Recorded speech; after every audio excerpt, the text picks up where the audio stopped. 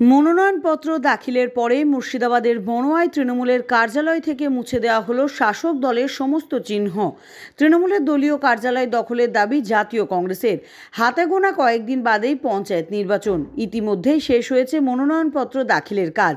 আর তার মধ্যেই গতকাল রাতে বনোয়ার সৈয়দপাড়া গ্রামে থাকা তৃণমূল কংগ্রেসের এই দলীয় কার্যালয় থেকে দলীয় সমস্ত ব্যানার ফেস্টুন খুলে নিয়ে তৃণমূল কংগ্রেসের সমস্ত কর্মীরা কংগ্রেসে চলে যাচ্ছেন বলেই জানিয়েছেন বনোয়ার ব্লক সভাপতি আজাদ মল্লিক।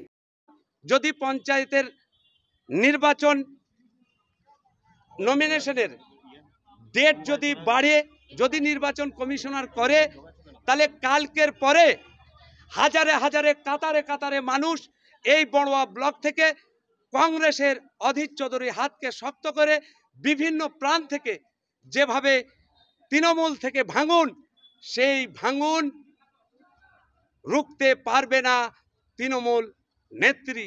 আপনাদেরকে আর একটা কথা বলি, পাশাপাশি আপনারা জানেন যে সোদপাড়া গ্রামে, সেই গ্রামে একটা পার্টি অফিস ছিল তৃণমূলের।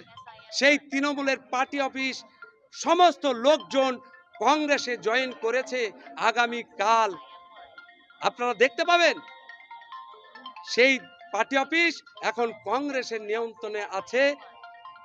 তাই আগামী দিনে আরও বিভিন্নভাবে কংগ্রেস উজ্জীবিত হবে এ বাংলায় তথা মুর্শিদাবাদ জেলা তথা এই বড়ুয়া ব্লকে। যদিও দলের কার্যালয় থেকে সমস্ত চিহ্ন মুছে ফেলার পরেই কার্যত ব্যাপক অস্বস্তিতে পড়ে গেছে ওই এলাকার শাসক শিবির। আমার গ্রামে তৃণমূল কংগ্রেসের ব্লক অনুমোদিত কোনো পাঠাবি ছিল বলে আমার জানা নেই। আমি দু হাজার আঠেরো সাল থেকে পঞ্চায়েতের নির্বাচিত জনপ্রতিনিধি ওই গ্রাম থেকে তৃণমূল কংগ্রেস থেকে। এখন আমি তৃণমূলে আসি শহীদপাড়া যারা তৃণমূল করতো তারা তৃণমূলের সঙ্গেই আছে। যারা হয়তো টিকিট পাওয়ার জন্য কিছুদিনের জন্য তৃণমূল সেজেছিল, তারা আগের দল তাদের অনুমোদিত করেনি, তাই তারা তৃণমূল করছে না। না, গ্রামে শক্তি কমেনি গ্রামে যেভাবে তৃণমূল আমার সাথে ছিল, সেভাবেই আছে। সেটা আমার সামনে পঞ্চায়েত নির্বাচনে আপনারা আট তারিখে পঞ্চায়েত নির্বাচনে আপনারা বুঝতে পারবেন যে মানুষ কার সাথে আসে মানুষ তৃণমূলের সাথে আসে না, ছদ্মবেশী তৃণমূলের সাথে আছে।